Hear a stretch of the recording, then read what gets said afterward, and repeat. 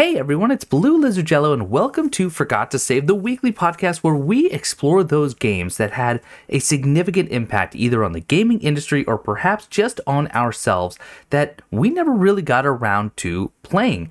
We have chosen some games already previously, and this week we have been playing Chrono Trigger, and that's what we're here to discuss. But before we get into that, Stone, what's new with you? Nothing much. Um, I really spent all my time playing Chrono Trigger. I haven't really done much. Well, it was the holidays, obviously. We are recording this. What is today? The 28th?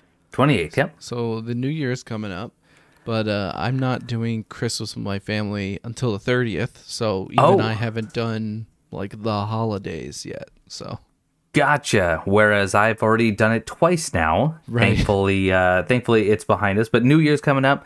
Not a real huge New Year's celebrator me? person. I I'm not. Oh. Are you?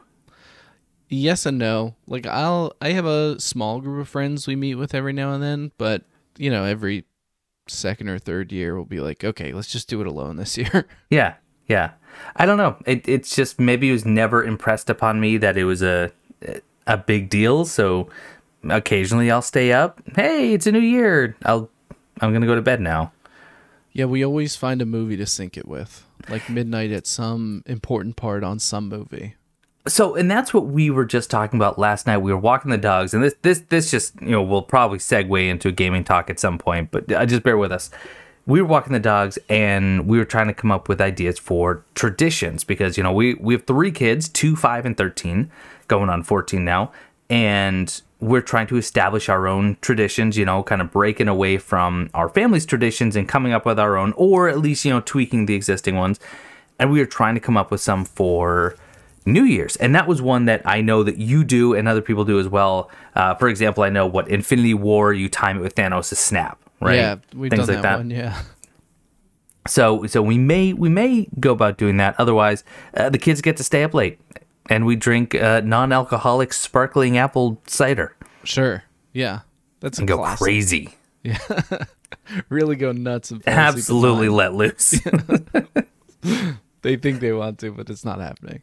Uh, but it had it has been pretty busy um, Yeah. b- between work and personal lives, and of course the holidays. Um, I have been playing Chrono Trigger as well. Uh, certainly not the only game I have been playing. But so have you have you done anything gaming wise other than Chrono? So, yes and no. Nothing of note. Like, um, a few hours of like RimWorld before bed sometimes, and I bought a ton of stuff on the Steam sale and have only played one game that I was considering getting for my wife, but didn't know if it was garbage, so I played it like within the return period first. Okay, smart, and it stood the test of time. I liked it. It's called uh, Witch Witch Spring R, I think. Okay, And it is you like play as like a little witch. It's like chibi style, like little like cutesy anime. And uh you choose how to spend your day, like building your stats or engaging in different activities like craft potions and stuff. And then the decisions you make changes the way that your character grows and impacts the story, which I think is very interesting. I was I like I saw it. She really likes games that are like an, like a nice colorful art style or she likes witches and stuff. So I was like, I'll try it out and see how it is. I was initially worried it was kind of a cheap game, Mm-hmm. but it's like surprisingly quality. It feels like a double A kind of indie game. And, and uh, what is it I called? Ended up enjoying it. I think it's Witch Spring R. I'll have to double check. Witch, which spring? Okay, yeah, I'm pulling it up because that sounds like a that sounds like a Moshi game. okay, there it is. Okay, This is apparently the game you buy for your significant other. Yes, Witch Spring R. I put about, I think, yeah, I, I put about an hour into it, like enough to finish the tutorial, and Yeah. it was fun. I really liked it. I'll, I'll probably actually keep playing it. nice. Okay, so you've been you've been playing Witch Spring R, a little bit I, of RimWorld. I haven't really been playing. I played it an hour of it, and it was interesting. But like, yeah, as far as gaming, I haven't done much. Oh, no, actually, that's a lie. Um, if you say work- Digimon. No, it, I swear I wasn't gonna t- even utter the D word. But uh, after work, I have been. Uh, I I really like to fall back on Fire Emblem Three Houses because there's four different endings for that game, and I love you know having a group of characters that I can build up and adjust their stats and choose their classes and stuff in a strategy game. So I love just replaying that game and doing it in the background, and I just like grind and get their stats as high as possible before I move on with the story. But I finished another playthrough of that, and I just started my third playthrough. So Okay, so third, so you you've gotten half of the endings. yay, no, three out of four. Oh no, You- two out of yes, two out of four. Sorry. Okay, right. Yeah. Yeah, because there's it's called three houses. So far I've done two houses out of the three. all right. And uh it's fun. I, I say that, but like that was like two hours. I was at the end of the game. So like I played like three hours of RimWorld, two hours of that, and like an hour of this witch game. And But, then uh, Chrono Trigger. but yeah, other than that, it's been Chrono Trigger, and that has been incredibly enjoyable. I've been like actively looking forward to getting back into Chrono Trigger when I was playing. So Yeah. Well, don't spoiler. Don't, yeah, don't talk much about it. Yeah, you did. I beat the game. So like Man. I played these other games because I finished playing Chrono Trigger. Yeah. Well, we will we'll get into the meat and the potatoes here in just a little bit because I know Stone, you're definitely gonna have a lot to say. Um, if you're looking for a Stone centric episode of Forgot to Save, this is probably going to be I immediately have one. bad news for you. no, I it's so funny because like like we started this podcast and it's on your channel. I feel like you're the main focus. It's not shocking to say that. Uh, most people are going to align with your taste, and then we start out and your game is some point and click adventure game that none of us are familiar with, and then mine is like an RPG that that you like obviously have not played as much. I just think it's So funny. far- like this is how we'll start. Yeah. I don't think these two games could be any further outside of my comfort zone unless we were playing some like World War II tank dating simulator. Wow, that actually sounds kind of fire. I'm pretty sure that exists. Many True Nerd played something along those lines several years ago, and it was amazing. Dang, I need to get me a Panzer. what have you been playing? Uh, so I've been everything that I've been playing. I can't say that I've played anything just for like in my quote unquote downtime. Everything has been with with a with a purpose. Um, with free time just being limited. So I have been playing some Chrono Trigger. I did not beat it. Spoiler alert. Um, That's fine. We'll, Wasn't we'll expecting it. certainly talk about that. Although I will say this, and, and this is jumping the gun. I do have every intention to. Great. So that already says a lot. I think. Yeah. Uh, but I've been playing. Uh, let's see, Dark Souls two. Um, Yeah. actually did some streams of that, which has been a blast. I caught that. That was super fun. You're talking about Yeah. your soul level one. The Soul Level one, I, I attempted for for those of you who have played Dark Souls two, uh, one of the DLCs, the Crown of the Ivory King. You can go through the whole DLC, take your time, and you get this one item that allows you to see this this tiger boss. Be, and if you don't get this item, the Eye of the Priestess, this tiger boss Aava, the king's pet, is invisible.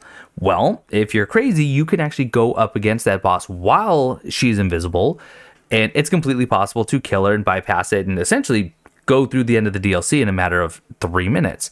Um, I decided I was going to do that at soul level one, and after about a dozen or so attempts on stream, I realized my skill level isn't anywhere close to being ready to do that. So, um, Yeah, you we- seem we- to be this big disadvantage where you weren't able to see the boss. Yeah, well, and I wonder if it's because I'm colorblind. no, it was not. The No, boss was invisible. I was watching and I was like, I have no idea where this thing is. And then you died, and I was like, oh, it was there. yeah, yeah. There was one it part that was funny. You pulled out your bow and you shot it in the head, and you were like, "Oh, I can see it now. It's right there." And then you immediately died. At the end of Immediately died. Yeah. immediately died. So not only you know is it invisible, but most of its attacks one shot me. Yeah. So didn't really stand a chance. But I've been playing Dark Souls 2, which has been great because it this particular run through, which I am doing a series on the channel, which is why I've been playing it so much, but it I don't think I've ever appreciated Dark Souls 2 as much as I do right now.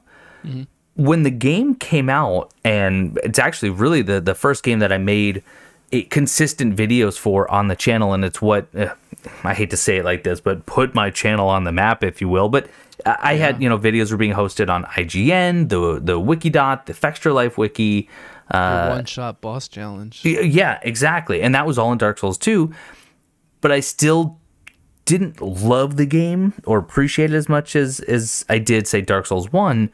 Um, and I really haven't played it a whole lot since then, but now I'm going through all the Souls games at base level, and I'm really seeing a lot of the care and attention that went into Dark Souls 2. It's not the same. I mean, you could almost slap a completely different title onto the game, and it you wouldn't bat an eye. It's almost not a Souls game. The the the structure is there, the mechanics are there, but just um, I don't know, thematically, strategically speaking, the game doesn't want you to rush into every encounter and button mash, spin to win, like Dark Souls 1 and Dark Souls 3 has. It really rewards thinking through every encounter, preparing almost like it's a true RPG in that fashion, like making sure you're stocked up on consumables and throwables and, and arrows, make sure you have the right rings equipped and the armor. And playing at a disadvantage of soul level one, you really have to employ that strategy. So that's been that's been a really fresh take on a game that I've I've played a ton of before and never never really loved it until now. Sure, I get it. Yeah. Yeah. It's been uh it's been weird. And then the other one, it, I'm I'm back in Elden Ring full force. Uh I think we've already mentioned this, but you know, the Game Awards came and went and all of us, everyone who has ever launched Elden Ring fully believe that we are going to get an announcement for the Shadow of the Erdtree expansion. Yeah. Going to get a trailer. We are going to get a release date, and those Game Awards came and went, and it's nothing. But That was a I've, uh, shocker. it really was. Uh, I mean, it wasn't. It wasn't a, a good award show in general, sure. but that just that lack of that trailer made it just. Uh, how do I ask for a refund for the Yeah. last three hours of my it life? was not spectacular. Okay. This is a gaming question I'll ask. okay. Your game of the year. I think I know it, but your game of the year. My game of the year is Lies of P. I knew it. Yeah. Is that yeah? That's where you- it Lies of P. And and I can't. I almost can't praise the game enough. It took it took a formula that has been trodden many many times before, and it didn't do anything exceptionally out of the norm. Um, but it took games like Bloodborne and Sekiro and it said, what if we took some of the best mechanics from these games, merged them together in a way that actually fundamentally makes sense, but we also put it in a well known children's story Yeah. and and give it this this dark gritty feel and all of that honestly to me when you describe it like that it sounds like a, a messy try hard horrible horrible uh, example of a game but everything they did worked Yeah, from an outsider's perspective, it seems like it iterated, it didn't reinvent. Sure. Yep. I, I I agree entirely. I can't I can't really think of anything that it does that has never been done before. It just everything it did, it did exceptionally well. Unlike uh, Lords of the Fallen, and this is not to just bash on that game, but Lords of the Fallen decided to do a bunch of things new with absolutely almost limitless numbers of build combinations and weapon variety and throwables, consumables, armor. And you have this cool, like, undead umbral realm that you can visit, uh, essentially doubling the world size. But I don't think it did any of the mechanics very well.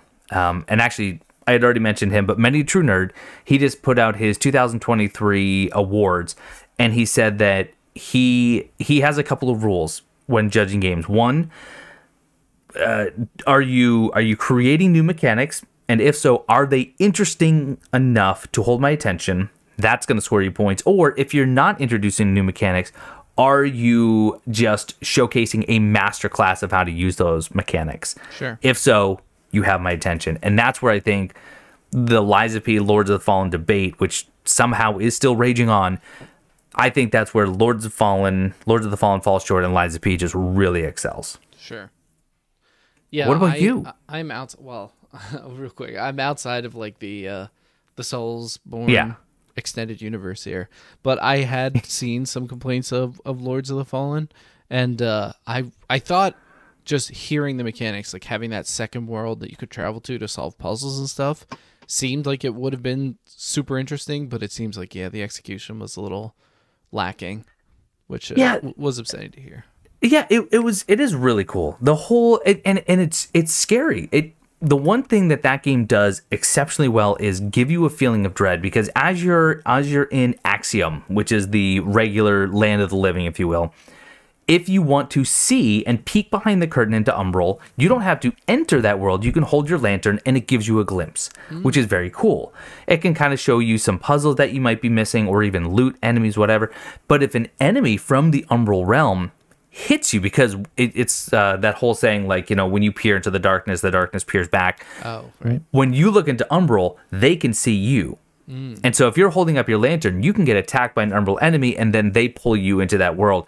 And there are times when you don't want to. And that feeling right. of dread like all of a sudden you pull up a lantern and there's a reaper right in front of you with a scythe ready to slash you and bring you into the world. It is genuinely scary until you've done it for the you know 12th straight hour in the same zone only to go and solve the same puzzle again and again sure and it seems like especially now like this is also off the heels of like ratchet and clank rift apart where you're constantly hopping between worlds and there was that xbox game the medium that got like yes. decent reception when it came out too so it's like if you want that there are other places to go for it too yes so you kind of have to polish it up a little bit but did you hear about uh, what, oh, what was it? Ratchet and Clank. So yeah. there was there was a, a lot of a lot of leaks about with Insomniac and all that, and but they they talked about in that leak Ratchet and Clank, and and, and I don't want to focus too much on leaks if we want to right. talk about that from a news perspective, but they, oh my gosh, what did they make like eight hundred dollars in profit or something? In Rift Apart. Yeah, it like it I did exceptionally well, but it was so expensive. Oh, right. That makes sense.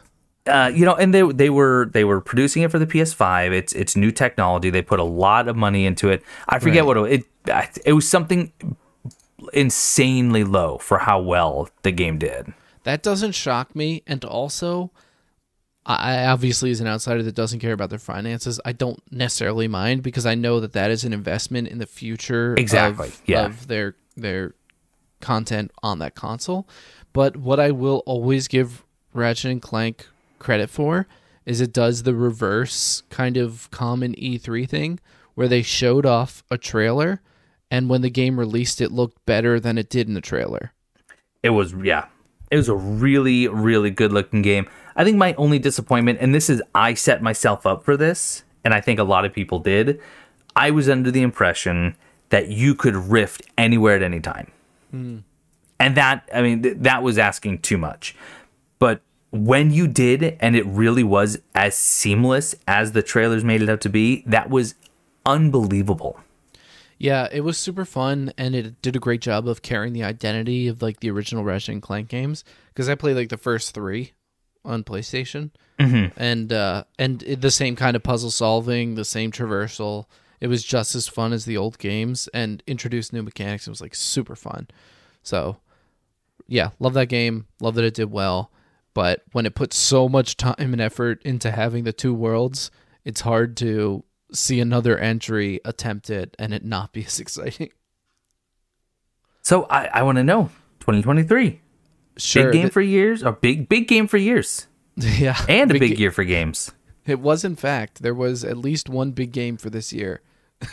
um, my pick is extremely biased. I know that much, but I, again, this is one of those iteration rather than redefining that I think does um, tremendously, and it's Pikmin Four.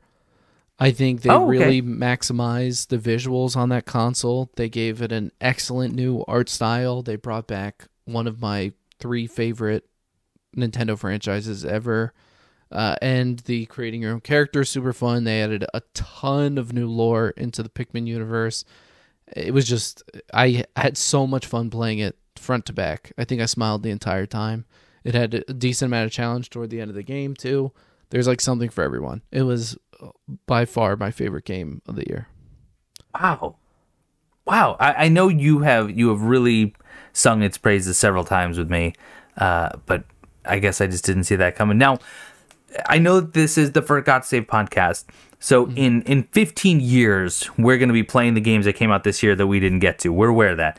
Um, what are some of the huge titles this year that came out that you haven't played that you would you hope to get to? I don't know if this is a hundred percent that, Okay. but Baldur's Gate 3 is something that I may be interested in sometime down the road, but I've said before that setting doesn't do much for me. Um I I have to think about that for a second, but you can be yours. I think you have one in mind, right?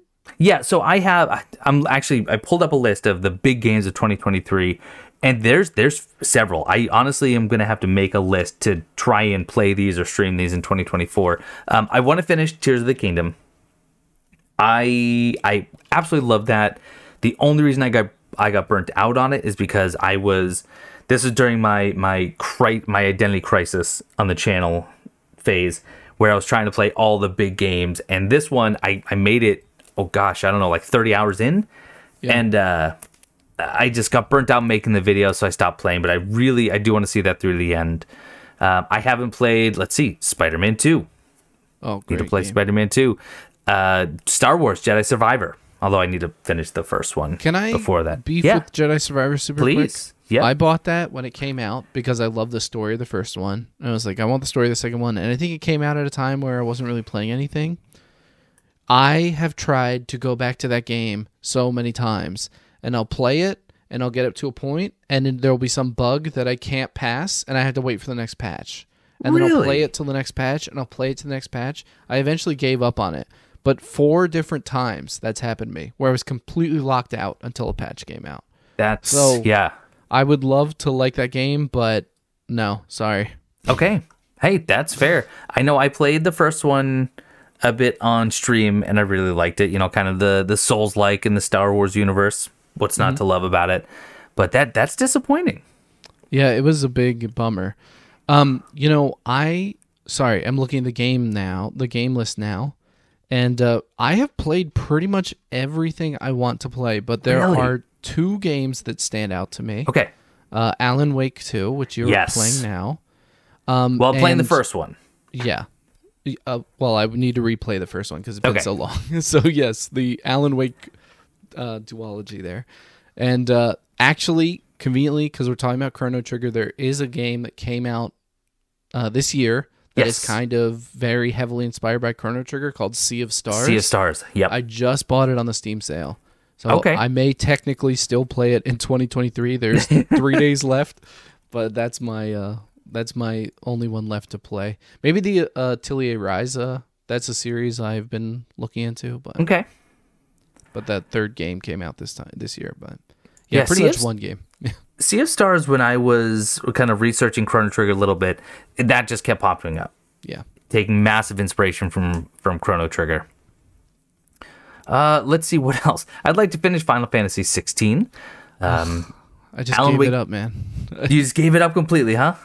I loved I thought the prologue was incredible. Yes. The first two hours of that game literally sold me on it. I bought it day one because, you know, the demo was just the first two hours. And I did not regret it for a long time. It was really good. The combat was slow in the beginning when you only have like one type of magic and it's kind of like you know the same moves over and over again. Yeah. But you unlock the second, and then it's you know we're kicking into Devil May Cry.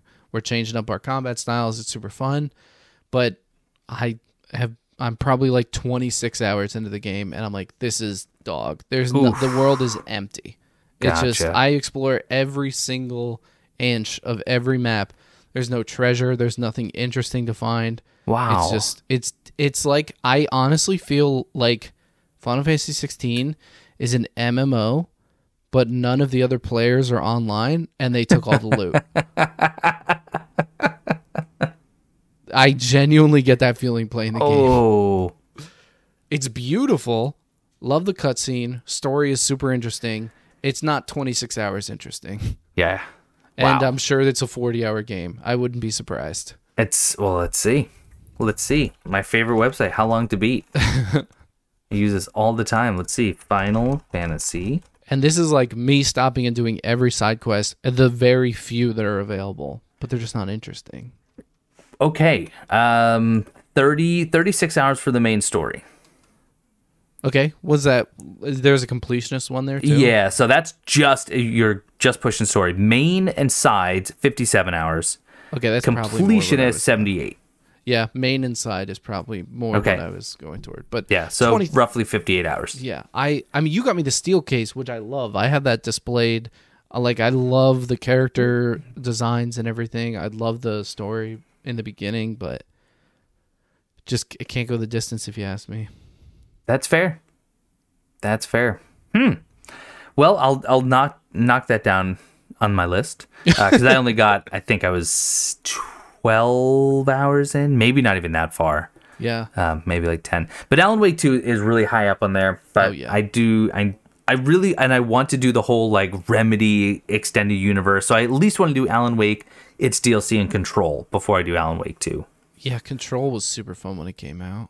yeah that looks pretty good uh dead space remake but that's if whenever i get to that that'll be great i love dead space so playing the remake will be cool I heard the PC port though is not the one to go after. No, no. And fortunately, and this is, I feel like this is not the first time I've ever done this on this podcast, but uh, our library has Dead right. Space Nice. on PS5, I believe. Awesome.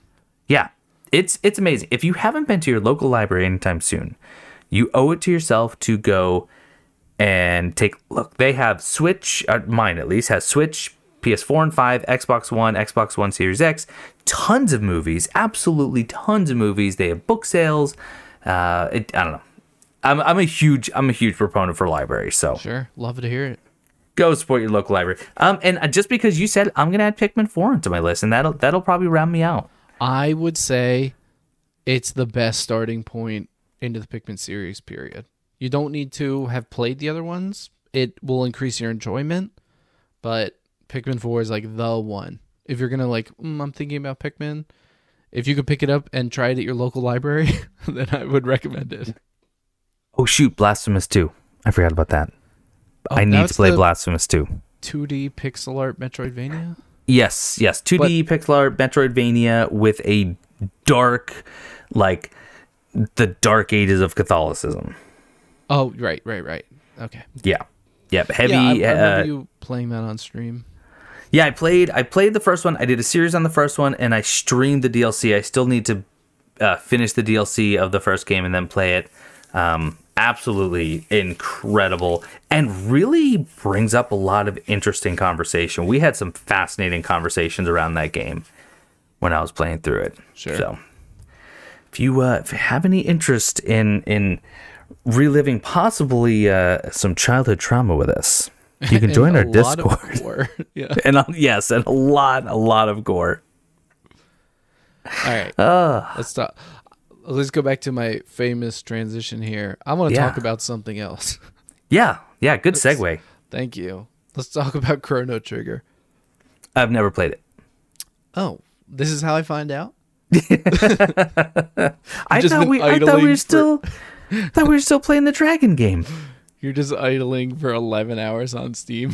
I'm still trying to find out how to how do I knock the nest down for the fire. Oh my! Please stop. Oh, it's a great puzzle. it. Got it. oh no. I'm happy to report no crates I haven't seen a single crate. or interactable in this game. Some buttons and switches, but no crates. Yeah. Which you, if I am correct, you had some issue in the first dungeon of this game. Is that right? Uh, yes, uh, not just the first dungeon. Oh, good. the the Well- first dungeon, and I don't know what it was, but I was just missing this one path repeatedly. Just over and no, I probably was in that dungeon a solid ninety minutes longer than I had to be. Wow.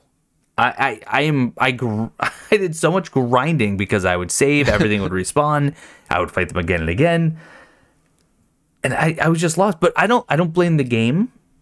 I don't think that it was a lack of direction. For some reason, it was just a lack of observation on my part. Sure. Well- and uh, yeah, please. Uh, it, so r- real quick, just just so everyone is aware, I said this earlier.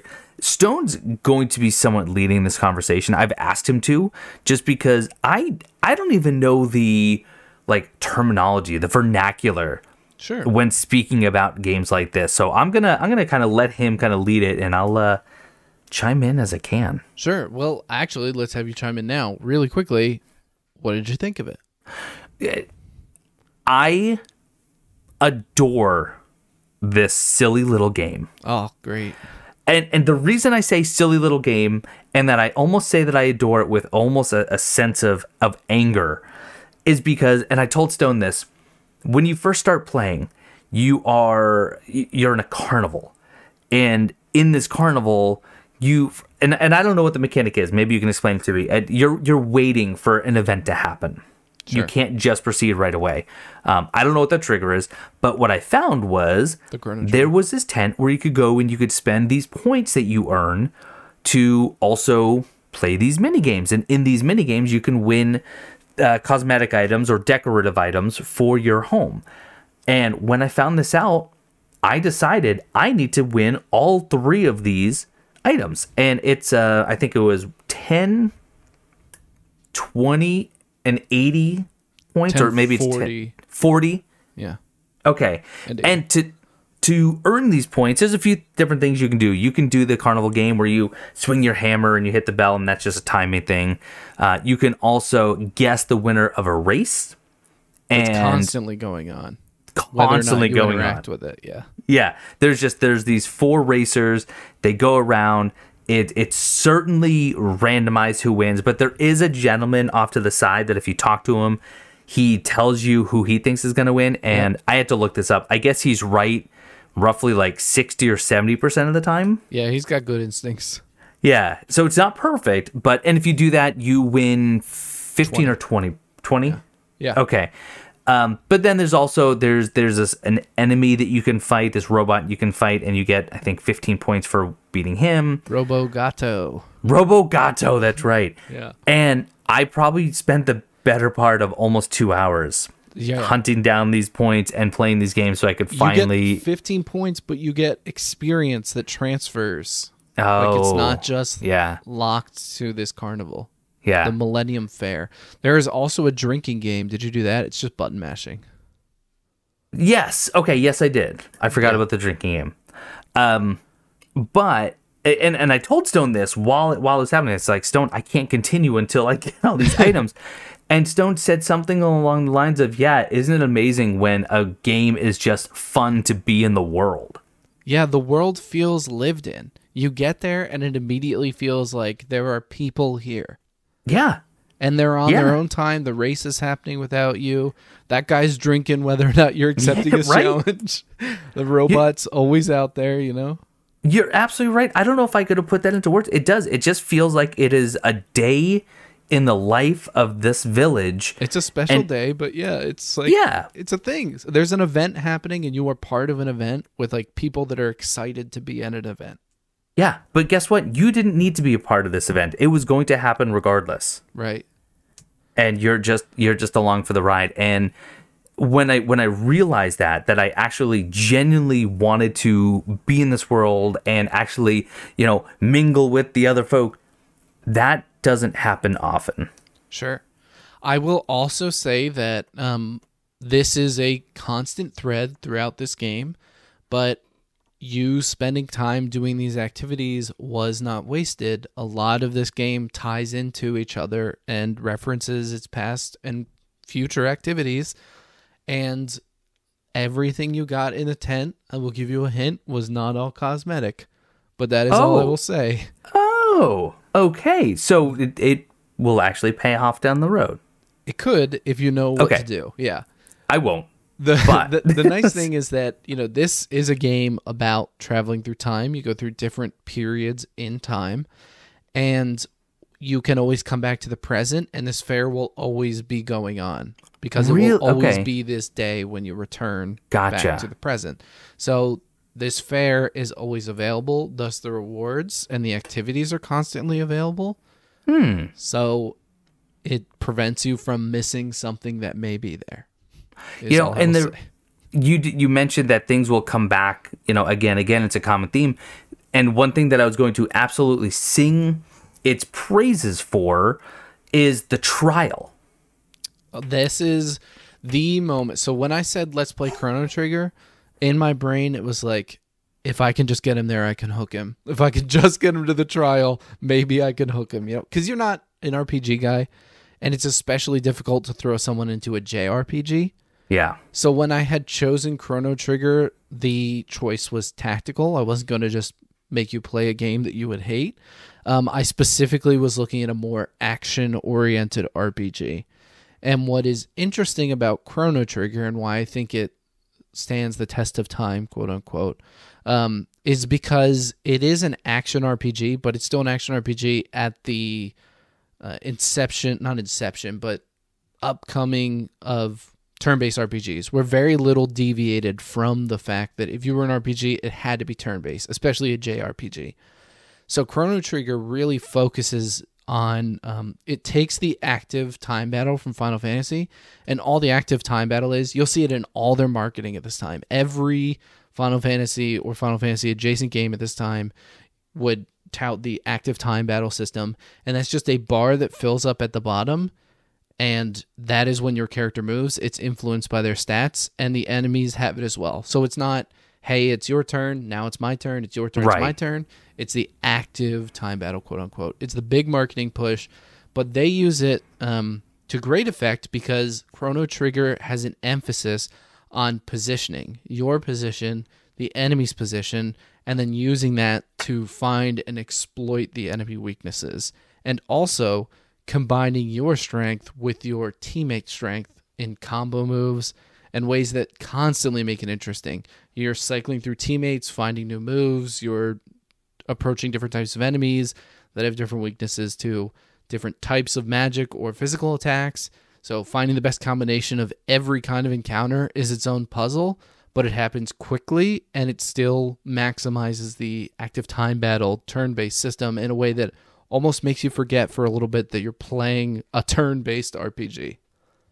It- it is very. It's very fast. Yeah.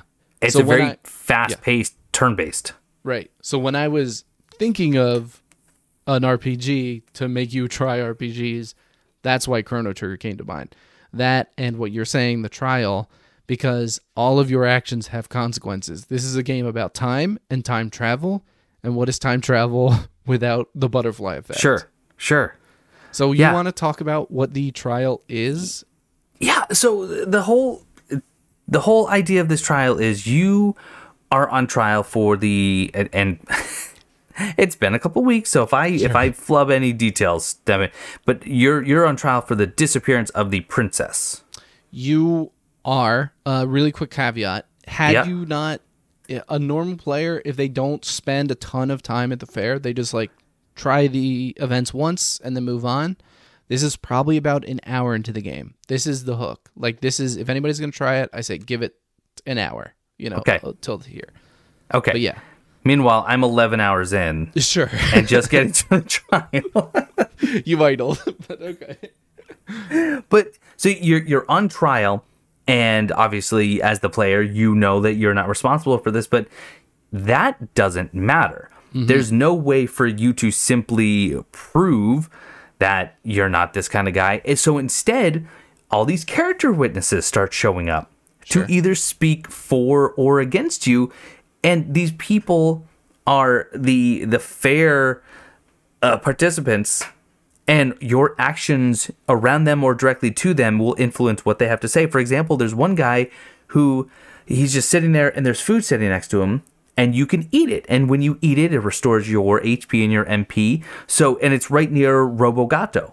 So you might leave the Robogato, come back and replenish by eating this food and then go back up to fight. Well, turns out that's his, respawns yeah it's his lunch. Yeah, if you talk to him before you go to the fight, he will tell you how excited he is to eat the lunch that his wife had packed for him.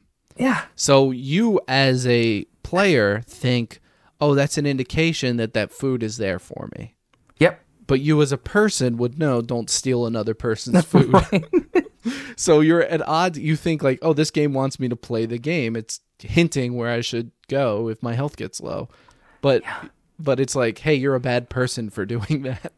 So yes, so- if you steal his food to heal yourself, he will testify against you in the court proceeding.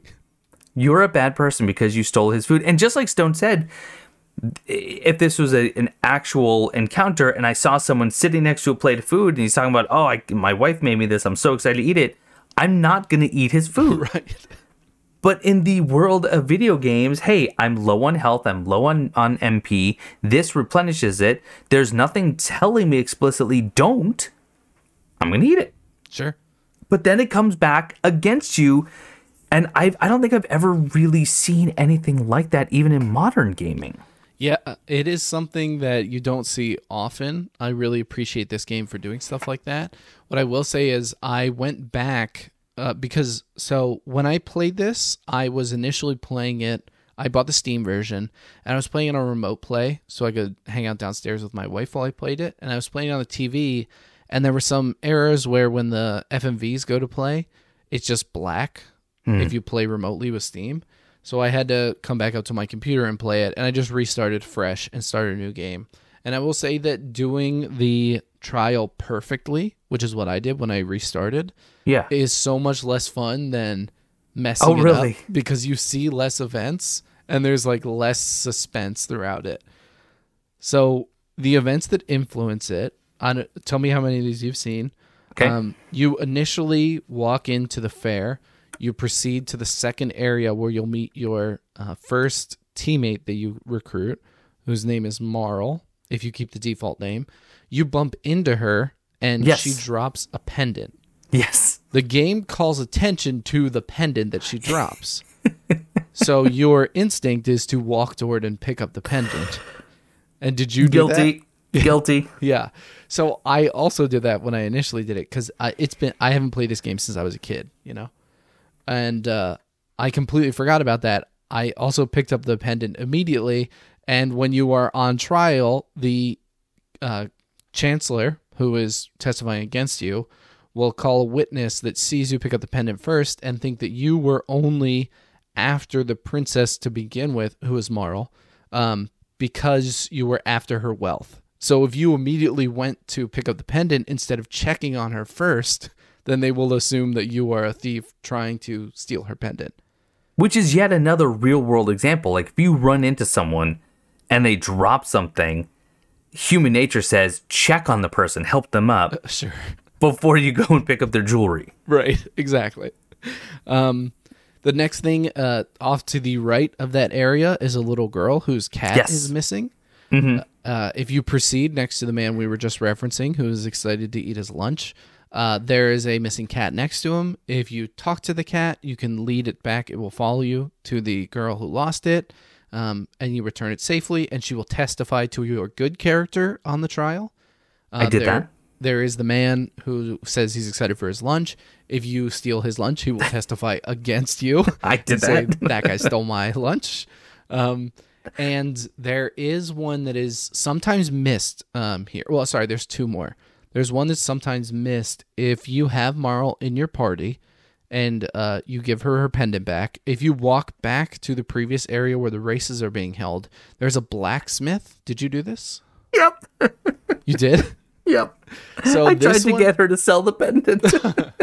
this one is easy to mess up because it's the first option, and if you're just mashing A to get through the dialogue because it's a shop, then he will ask you at the end of the dialogue, "Would you convince that girl to sell me her pendant?" If you choose the first option, which is A, um, then he will. Then that counts against you at the trial. That again leads to your uh, your guilt on behalf of your greed. Uh, then the final thing, and I'm trying to. Oh, I remember. At the very end of the section where you are free to roam around the fair, you are looking for your friend who has created a machine for you. You are heading north to the third section to check out her machine, and Marle is looking for some candy she wants to buy. She will stop and look at the stall and look around the different types of candy. If you rush her by talking to her, then it will say that you are impatient and the stallkeeper will testify against you and say that you are like impatient and and pressuring her. But if you wait for her to choose and wait for her to come to you and say that she's ready to go, then there will be nobody to testify. so I hit all triggers. Uh-huh. on without ever having played it. I hit all triggers with the only one working for me is I did rescue the cat. Sure, that's the freebie. and I would assume that you were definitely found guilty.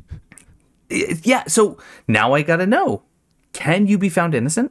You cannot be found innocent. You can be well well, you can be found not guilty, yes, but it will always be superseded by the chancellor who Gotcha. then alters the orders given to the knights and says that you are up for execution. So you the jury will find you not guilty, Okay. but you will still receive the same sentence because he alters the paperwork. Man, how about the fact that we're being sentenced to death and one one of the character witnesses like the dude ate my lunch. Sure. Yeah. yeah. He needs to go. Well, I think that one in your case plays to the three people that testified to your greed. but it, it's so fun. It, it really is. It makes you feel like the actions that you take have consequences, and that kind of instills in your mind for the rest of the time like, be careful. You're kind of on edge. You're like trying to act as appropriately as possible in all future yeah. interactions, which is, I think it's so fun. Well, and like you said, being a game that is centered heavily around the idea of time travel and everything we know, with very few exceptions, and I used air quotes around know, about time travel is the butterfly effect. Just like you said, you go back in the past, you change one little thing, and who knows what far reaching consequences that's going to have later on. And they they show you that in the fair within, like you said, the first 60 minutes of the game. Yeah. It's actually brilliant storytelling. Yeah, it, it's so fun, and that's one of my praises for this game. Is always just everything is in service of the main plot, but the main plot doesn't drive the world. Your actions drive the world, which makes it so much more interesting. It feels because you'll go in the past and you'll do some side quest or something. You know, I don't know how f- you just got to the trial and that was it. Uh, in the game? Yeah. Oh no no no no no! I got um I got to the uh, I guess what I'll call the third age, like the I think it was like future dystopia. Sure. Um, but the last area I was in it was the sewers where you fight a boss by the name of Krawlie. Yeah, yeah. Um, so I don't know. Did you interact with the mayor um, in the present day, who is like really greedy? I don't think I did. It's fine. Be- it's he's on the continent to the south. It's not at the starting area. Because I've never. So I I started in the present.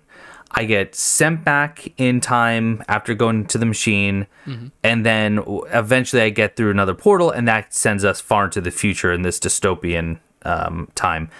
I've never I've never been back to the present. Okay. Yeah, back in the present, there is an area to the south, like on the southern continent, and there's if you go into the mayor's house there, all his kids are like, "I hate this guy. He's so greedy. He's the worst." and his wife is like, "My husband's so greedy." You know, it, it just people don't like this guy, and he tries to charge you to even speak to him. Uh, and if you go back into the past when he is a child, or um, it, maybe it's his grandparent, I don't exactly remember. Um, but they will ask for his mother is cooking and she'll ask if you have any like spiced beef jerky for dinner. If you give his mother the spiced beef jerky, she will teach her children the importance of selflessness and use you as an example of it. And then he will grow up to be a selfless person. So Wow. much so that his wife says that he's now too selfless. like when you go back to the Monday, and all his kids love him so much. And uh, and one of my favorite lines, if you talk to his kid upstairs after, she will say that um, my dad is so. Everyone says that my dad is so magnanimous. I think he's just big boned, which I think is really good for him. but yeah, it's it's little stuff like that. Like your actions drive the world, which is just little side stuff that you pick up on that you go back into the past or even in the far future to see consequences of what's happening right now. It's so interesting to see the world evolve around your actions, and you're always in it. Kind of my beef with RPGs a lot of times is that like you're a guy passing through town. You know, you get these requests from these townspeople just because you're the guy with the sword that walked up to them. But why don't you ask the guards or some other person in your community to do this? But in Chrono Trigger, it really feels like nobody's asking you to do something. You're just in a hmm. very unique position to solve everyone's problems. And I think it motivates you slightly more to go out of your way to say, like, oh, this is something I can fix. And if I fix this, it's going to be better in 400 years. It's going to be better in a thousand years. And you can go and see that actual impact. And it's, it just, it strives you forward in such an interesting way because it's like, this is a unique problem that only I am equipped to solve. Wow. Yeah. I want to play it. I, I and I know that that's a silly thing because we've had two weeks to play. So we we actually took a week off last week because I didn't get much time to play, and frankly, I didn't get much time this week to play either. Um, but I think one of the best things I can say about the game is being a game that's not really in my area of expertise in the games that I normally sit down. Like I really and truly have every intention of carving out some time to play this game. Mm-hmm. And, and there's something there's something massive to say about that. Uh, a lot of the characters that you meet are I hate to put it this way, but they're just they're inconsequential overall to the story, at least from what I've seen. There's a lot of NPCs with just flavor text, but they're all it's all relevant text. It does speak to the world and its current state and their place in in this society. And I didn't skip anyone. And I I, I talked to every single person.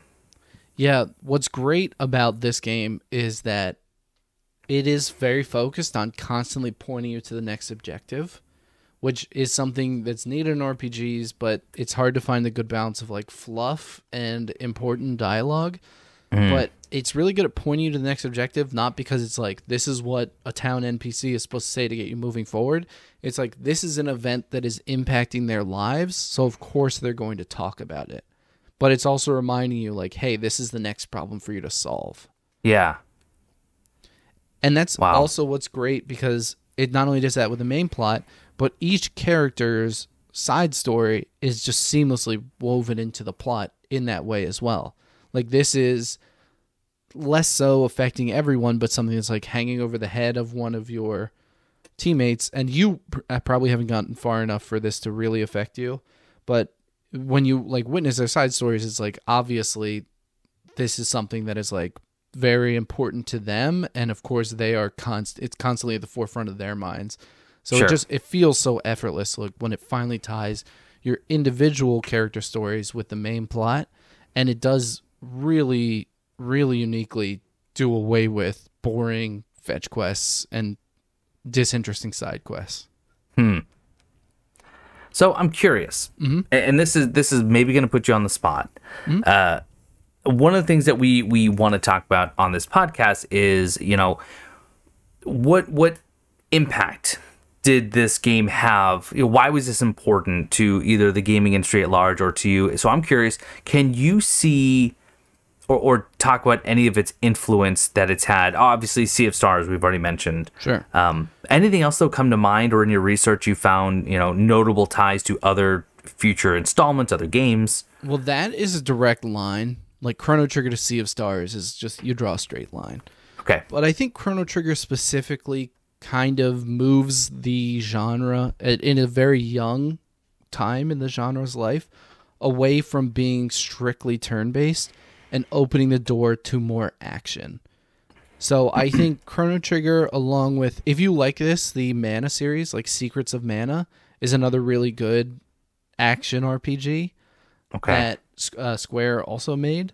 Um, but things like this, obviously, to me, open the door for even much further down the line, like a Dark Souls, like action RPGs. This is, I would say, their grandfather. Like it's th- it's this period. Until 3D came along, like this was the the door opening for action RPGs. Bringing it to hmm. and and not to say it's the first, yeah, but it's the one that exposed the most people to the idea. It's fast paced, it's interesting, it's like I said earlier, all about finding, exploiting the weaknesses, finding the right party composition, managing your equipment in a way that's interesting, resource management. I think that all paved the way to Like I don't think a lot of modern action RPGs exist without this, or even just action games. Period.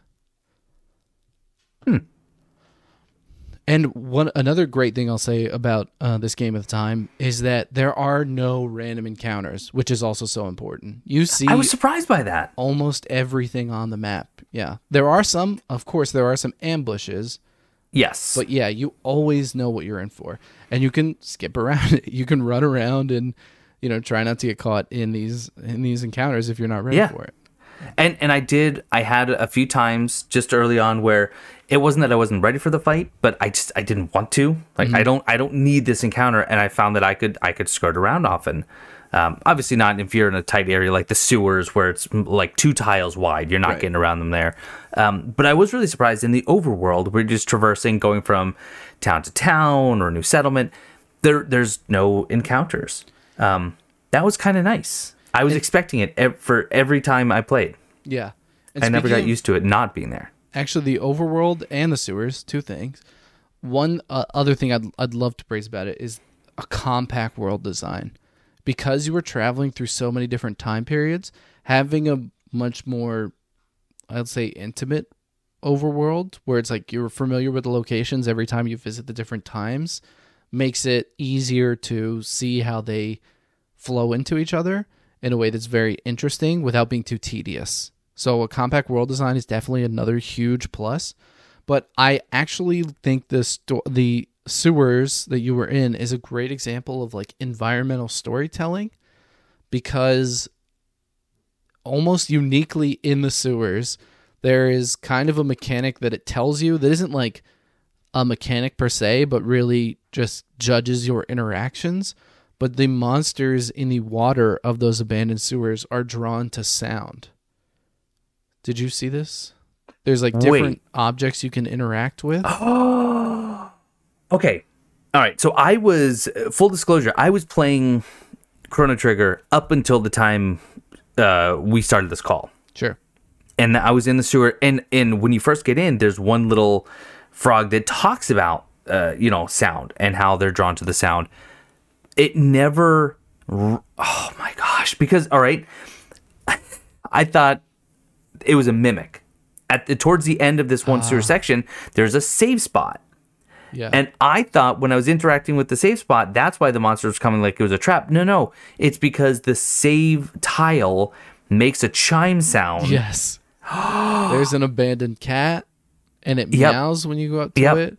I think There's there like a, a, box that you touch Yeah. and oh my word. and you only get ambushed if you interact with those. I had no idea, even though the game straight up told me what would happen. Yeah, but even so, just at progressing through the sewer, it's it's interesting to see. You know, it's it the story's told through the environments. Yes. I think that's wow. a constant. It's yeah.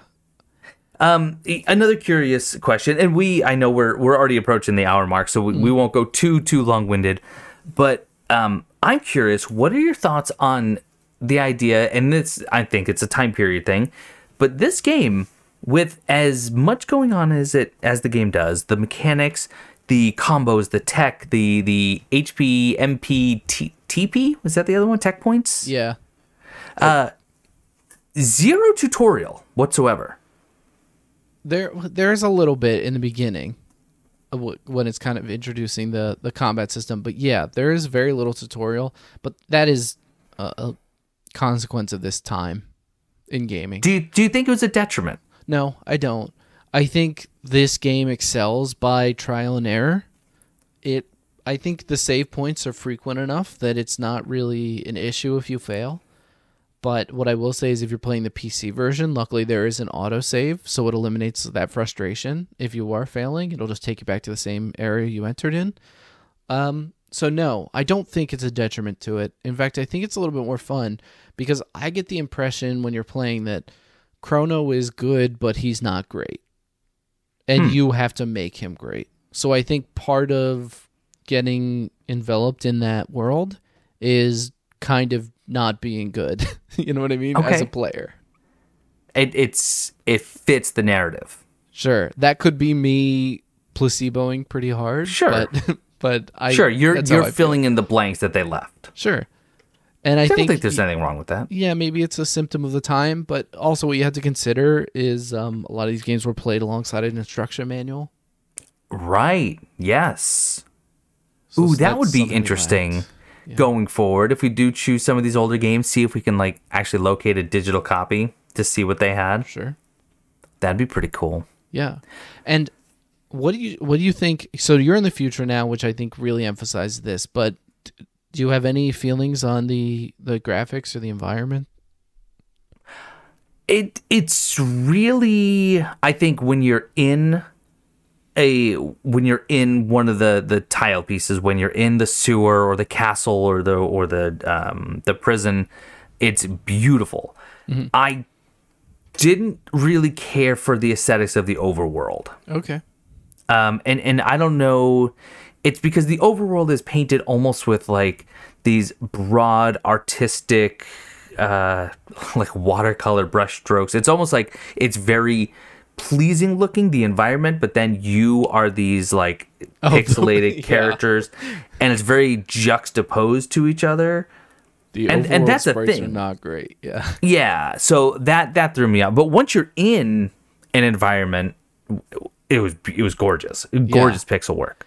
I think that is the the personality of this game is almost entirely defined uh, environmentally. It's almost entirely defined by Akira Akira Toriyama's incredibly unique art style. The the way that the different infrastructure is infrastructure is constructed is so wholly unique and interesting, and it's it's crazy because if you ever like see any of his work, any of his like manga or like Dragon Ball Z, Dragon Ball, it's a lot of rounded shapes, machines, things like that. I mean, Robo is like the perfect example with his like dome head and his like big round body. But it's so difficult to do that on an SNES where you only have pixels and jagged Right. edges. And I think it's still it still came out in a way that I think looks really crisp. No, it was. It was. It was really nice looking. Uh, it was just the overworld that was kind of throwing me, Sure.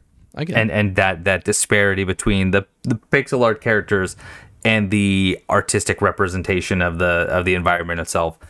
Um, but going back real quick to the the tutorial, I'm with you. I don't think it hurt the game. Um, and I, I actually think that the game is incredibly forgiving, not just with its frequency of save points, with its auto saving of uh, uh, when you're on the PC port, but also just the the consumables like potions, Oh, which you can use in and out of battle, are 10 gil. And you're getting 300 gil per battle typically. Yeah, they hand those out like candy at the beginning Yep. to make Yes. sure that you are good to go. But if you go toward like the there's a particular dungeon that is optional at the end, but if you go for that, you are going to want to stock up because Okay. it doesn't matter how frequently they handed them out before, you're going to need them at the end and you're going to need the best. Yeah. Okay. Hmm. Good but yes, I think that is intentional. It it, it almost seems handholdy at the beginning, but it's nice because I think the game wants you to experiment with different party compositions, and not everyone is a healer. You know, Right. Right. Uh, it was it was cool to see what the different combinations did. I thought that was really really awesome, especially just doing like the uh, what was it Cyclone Aura or Aura Heal. yeah, That was really really cool. I loved seeing them work together, even though it doesn't really. It, it tells you a brief description of what it's going to do, but then you actually try and you see it in action. But then, and this, I can't believe this hasn't come up yet in our talk. One of the best things they have, and I don't know if this is in the original or PC or what, you'll have to tell me. Mm-hmm. Auto battle. I believe this is a PC thing. Okay. I at least don't remember when I played it on the SNES. Auto battle, and it's very rudimentary. Mm-hmm. As far as I can tell, all it does is you put it on auto battle. Your characters will just use a simple attack. They won't use items. They won't use combos, and I think they just target the enemy nearest them. They target the f- the first in the order. The first in the order. Okay. Yeah, But what's nice about it is what I would do is I would go into an area when I would come across a new enemy type, I would fight them with auto battle off. So I could, you know, see if there's any strategy to it, if they're weaker to certain things.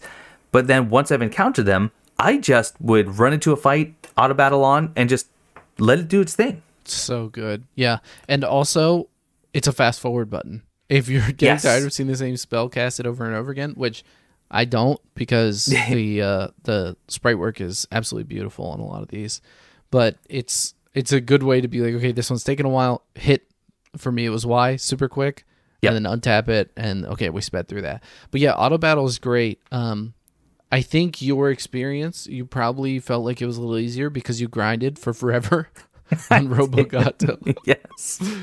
But uh, yeah, uh, auto battle I think is a super good feature. It it helped me grind a little bit without without focusing on the grind. And this game is really good. It doesn't really require you to grind a lot.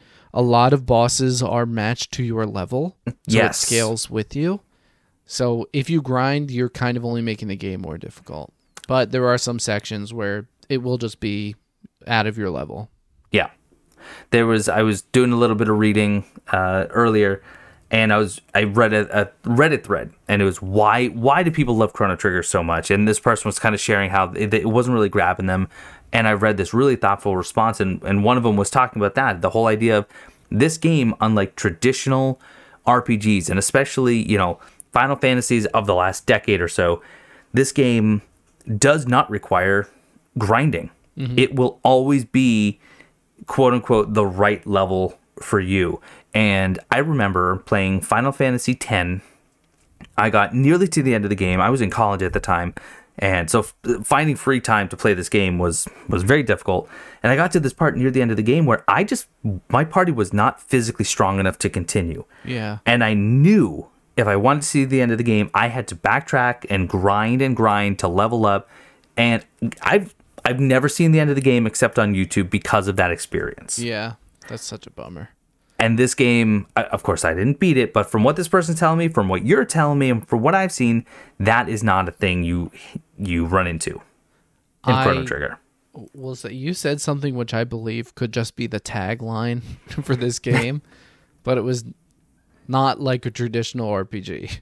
Yeah, And this is at a time where they were making these were this is the traditional RPG factory Square, you know. They printed out a new one and it's like, okay, this is the gold standard now, and they got it out the door. And uh, I think yeah, everything they did, uh, all the decisions they ended up making gameplay wise in this are are top notch, and I think they hold true even to today. And it, it, it makes an action RPG that's also a puzzle, and it's a fun puzzle to solve and unlock. Bosses are interesting; they're not just repetitive bullet sponges. It's interesting. It, I mean, the whole game is interesting. It has intrigue, and it wants it keeps pushing you forward, and you want to keep going forward. yeah. I think what I'll have to do is, as I keep playing, we might have to have like a segment over the next several. Forgot to save, Sure. where it's like, hey, where's Blue at and Chrono Trigger?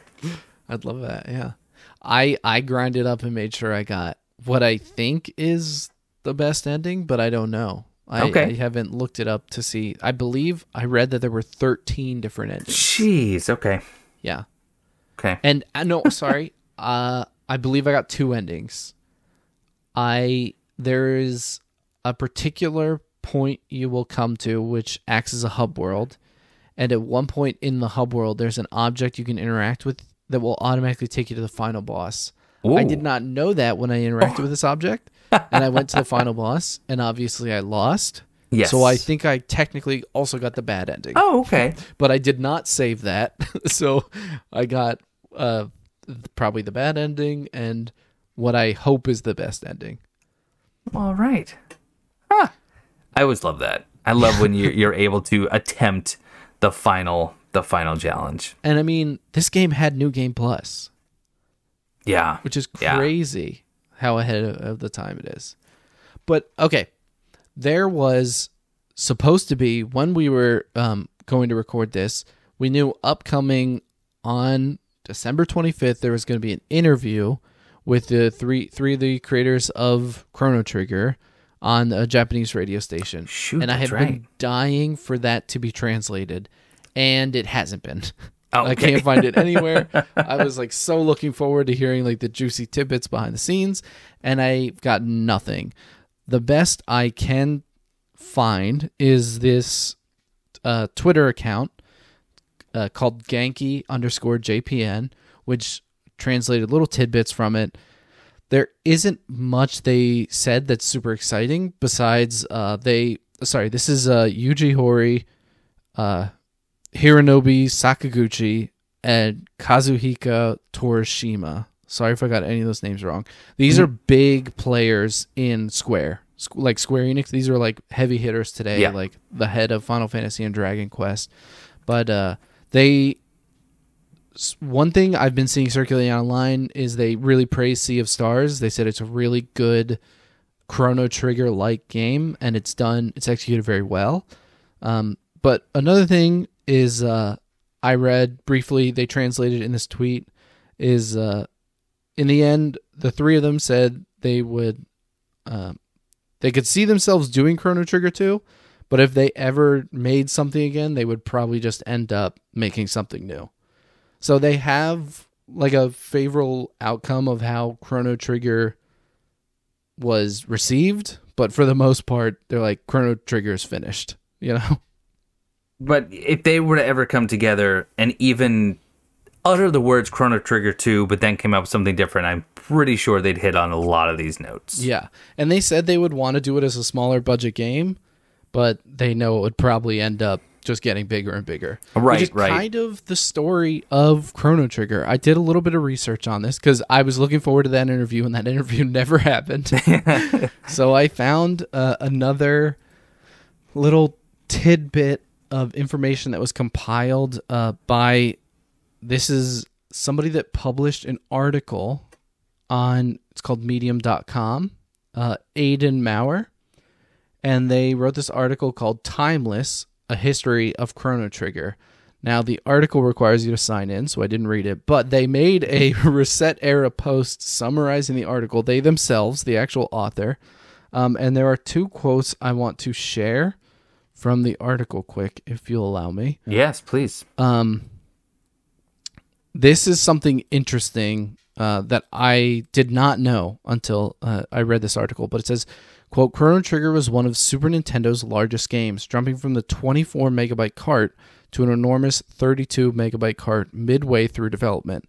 It was hmm. Square's first of that size." And Takashi Tokita, director and scenario writer of Chrono Trigger, joked in an interview that they could have fit four copies of Final Fantasy IV on a single Chrono Trigger cart.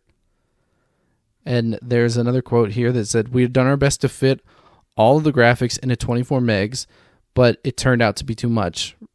We couldn't fit all the scenarios we wanted either, but thanks to those extra 8 megs, Magus' castle looks so fantastic.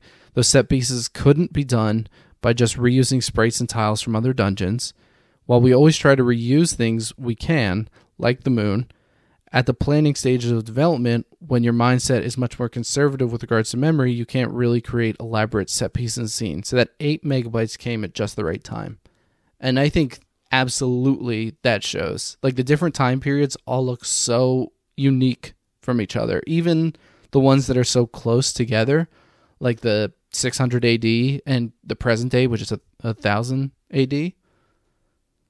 I think even though like architecturally they're so similar, that I think they Mhm. still look visually distinct from each other. So Uh, And so I'm. go ahead. Uh, nope, sorry. Because I'm, going to jump into something else so you finish it. oh, uh, th- this is also like, sorry, all of this is tying back to the fact that like if they made Chrono Trigger 2, it would kind of spin and get bigger and bigger. yeah. Because like, okay, so the cartridges got literally bigger. like that was Right. a, a huge change um, in the way that that the technology was handled. But also as far as the team, the article says, oh, sorry, the summary of the article by the same author says, uh, Square projects at the time generally capped at about 25 people on the development team. Chrono Trigger had 50 to 60. and then it pulled over a bunch of developers from an in progress Final Fantasy VII for the SNES to finish it on time. And this ballooned the development size to about 200, which was enormous for the time. Eight mean- times what they typically have. And that is like a team you're seeing now on Yep. games with the advanced technology compared to the SNES to make a SNES title. That's huge. Wow. Yeah. Uh, so what I was going to ask about, just talking about sequel, because I'm looking looking at uh, some things here. what's the deal with Chrono Cross? Not a sequel. Yeah, Chrono Cross is not a sequel. Chrono Cross, uh, it, it came out on PlayStation. It played with kind of the idea of having an expansive number of party members. So I believe there's a very large number of recruitable party members. Okay. and I think it plays around with a little bit of the action RPG mechanics, but it is generally not seen favorably as a sequel to or even a spiritual successor to Chrono Trigger. It's kind of treated as a separate entity. Okay. It, it, according to the just this wiki article, it says it takes place in the same world as Chrono Trigger. Uh, but that's apparently its only connection. Okay. Yeah, it's it's it's got a cult following. It's not received very highly by a general audience, but the people that love it love it, you know? Okay. But also, I mean, you could put anything in the world of Chrono Trigger. You're exploring like six different time periods. right. Right. Yes. It's not the world of Chrono Trigger; it's the entire universe of it. Turns out Joe and Mac for this for the SNES is in the same world as Chrono That Trigger. could easily fall in. There is a time you go to sixty-five thousand BC, and uh, yeah, one of my favorite teammates is there.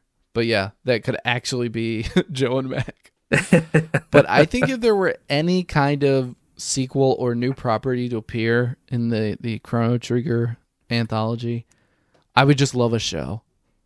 Just oh, okay. Every I feel like every the way the story continues to build off each other and constantly being referential, but like each time period has a self-contained story. I think that would be so interesting as like a I don't know, like an HBO show. Have we ever gotten? I'm trying to think. I know Final Fantasy has a few movies. Has there ever been a show based on any of these types of games? yeah, absolutely. Oh, okay. Yeah. Persona has has a famous number of animes, yeah. never mind. Never mind. like I said, not my forte. Yes, it's very easy to go from an anime art style to an anime show. That makes sense. I don't. I don't even know this type of sh- of series, but uh, I think Devil May Cry had a really famous show in like 2008, like anime. Oh and wow. they're actually remaking one now, 2023. So Well, yeah. I'm gonna run my questions by you before we hit record next time. No, it's okay. Uh, hey, people have those questions, you might be speaking for them.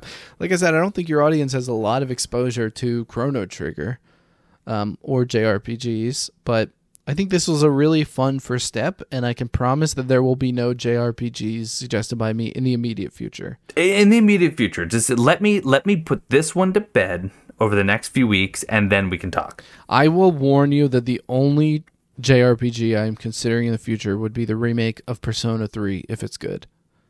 okay but I All would right. not. Yeah, I would not be like, okay, so it's only a hundred hour game. yeah I will tell you a uh, little peek into the future here. The next, I have four games lined up for next uh, round that I'm okay uh, giving to you, and all of them are action games. So, oh nice okay so we're gonna pick up the pace a little bit, and I think I think they're four really good ones. yeah But I'm happy you've enjoyed your time with I have. Chrono Trigger. Um, i very much have I absolutely loved it. I never finished it when I was younger. Um, I the way I first experienced Chrono Trigger was I just learned about emulators, and I put an SNES emulator on my computer, which was pretty much the heaviest that my computer at the time could handle. What was that company that shipped them in like uh, like cow colored boxes? Oh uh Compaq? No, yes was it? wait no dell was it old dell No, I think this company doesn't exist anymore. oh shoot I'll, I'm googling it quick. right computer company cow boxes. Oh, Gateway. yeah. gateway yes. We had an old gateway computer. Uh, and I learned how to get emulators working on it. And uh, one of the first games I emulated was Chrono Trigger. And I was blown away by it. I thought it was so cool that you could travel through time. I re- the last thing I really, really remember is the future, pretty much where you are. Um, but I was like maybe nine at the time. So I remember really liking it. I remember when I got older, kind of seeing the beginning of the game again, like trying to play it again and seeing like the trial at the beginning and be like, oh, I have to get back into this. And just Yeah. never following through on it. And then now we played it for this and I burned through, I think it took me 23 hours for my playthrough. Wow. And I was just Okay. constantly like, okay, I- I'm going to go and play Chrono Trigger. I'm just going to go play Chrono Trigger for a bit. I just couldn't step away from it. Ah.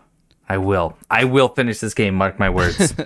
and again, that's about the highest praise I can offer. Yeah, the I, and the nice thing about it is the game kind of moves at your pace. Like you can finish the game whenever you're ready to go forward with it. Okay. Because Wow. there's so many different endings. It's like just do the one that satisfies you. Now I couldn't be satisfied until I did every character side quest. I had to get all the bros together, you know. and I got the ending that was like, I don't know. I I, I won't. There's, there's so many different endings. I'll say a little bit about it. It's not much of a spoiler, but uh, you know, I I love playing these stories like about a team, and I hate when they get broken up at the end. But it's like mm. with Chrono Trigger, it's destined to happen. They're all from different time periods. So it's like, man, I don't want to break up the band. But then I, I watched the end of it, and I was just so happy because it's like, I got the one where everyone had like a really good ending. Like I felt Yeah. good for my friends almost. It was, it's like a little cheesy, but like I was like, I, f- I finished the game and I felt really proud. That's good though. I like that. That's a good way to tie it all together. Yeah. All right. Well, on that note, I think. Do you have anything else you want to add about Chrono Trigger? No, but I gotta ask, you have your list picked out for next episode? Nope. nope. But I will. That's dangerous. I will. That's and it will and it will not be it will not be a repeat. No, no. I I am going to dig I'm going to dig into my past and I think I'm going to I'm going to bust out some oh man, I love playing these. I wonder if Stones played them. Oh, great. Yeah, we're gonna we're going to have some fun. Well, maybe keep in mind that I have all action games lined up. If that helps. Okay. Okay. All right. so Thanks for playing. I, it was a blast. It was, and I can't wait to keep playing. So, if just in case you you have missed the previous ones or you missed the format, this now wraps up our first full round, I guess, of games. Month. Month, yeah, that works. Time add- adding If only time there was into some talks kind about of measurement of time. What's a word for four weeks? But next time we come together, um, I am going to be presenting Stone with my list of upcoming games. He will choose one of those. We will then play, and then the following week he'll present his list of upcoming games to play. I will pick one. We'll play that, and then in the two weeks to come, uh, we'll go ahead and play and discuss. Those lists can be altered by your suggestions. So Yes. feel free to leave them in the comments. Please tell us if you played Chrono Trigger either now or in the past and what you thought of it. I would love to hear it and I would love to talk to you about this game in the comments. Uh, if you do have any spoilers, maybe try to hide them as best as possible. I know it's tough in YouTube comments, but you can enter a few line breaks so that people have to hit see more to see your spoilers. Uh, and the links to the article that I mentioned will be in the description. I would obviously like to credit the people that took the time to research all this stuff. So that's my bit. Perfect. All right. Well, until next time, thank you so much for joining us and forgot to save. Keep these suggestions coming, and we'll talk again soon. See ya.